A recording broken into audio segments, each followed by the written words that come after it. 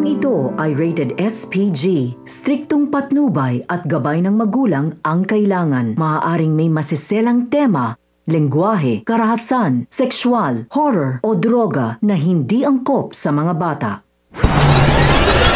Kapamilya, kinumpronta na nga ni Rigor si Tinding tungkol sa laking nag-iwan ng pera dahil sigurado mo siya na si Tanggol yun. Tinanong ni Rigor kung nagkausap ba sila ni Tanggol. Kaya naman sinabi ni Tinding na sa maniwala man sa hindi itong si Rigor ay talagang hindi niya nakita kung sino ang nag-iwan ng pera. Nagbanta si Rigor na siya mismo ang aalam ng totoo at mag-iimbestiga sa Quiapo. At sa oras umano na malaman niyang may tinatago pa si Tinding at Noy ay paniguradong mananagot ang mga ito. Magkakasagutan naman si Natinding at Tess dahil sa ginawang pagsusumbong ni Tess kay Rigor. Maya-maya pa ay pinuntahan na nga ni Rigor si chairman upang itanong kung ano ang pakay ng mga taong pumuntahan ng mga taga-koreksyonal. Sinabi pa ni Rigor na sakaling bumalik ang mga ito ay huwag ipaalam na nag-iimbestiga siya dahil baka makatunog nga ang mga ito. Tinanong na rin ni Rigor si Aling Mirna tungkol sa babaeng nag-abot sa kanya ng pera at kung ang ibang tropa ba ni Tanggol ay nabigyan din ng pera. Ngunit sinabi ni Aling Mirna na wala siyang alam.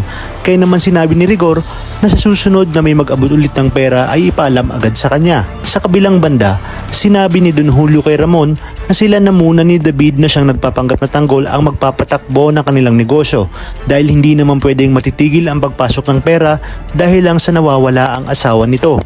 Kakausapin naman ni Olga si David at tinanong kung handa na ba ito para sa pagbubukas ng kanilang bagong negosyo. Pinasamahan niya nga si David sa kanyang mga tao para siguraduhin hindi papalpak.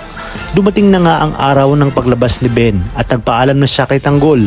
Nakiusap si Tanggol na kung pwedeng hanapin ni Beng ang asawa ni Mokang at ang mga dapat nga nating abangan ngayong biyernes.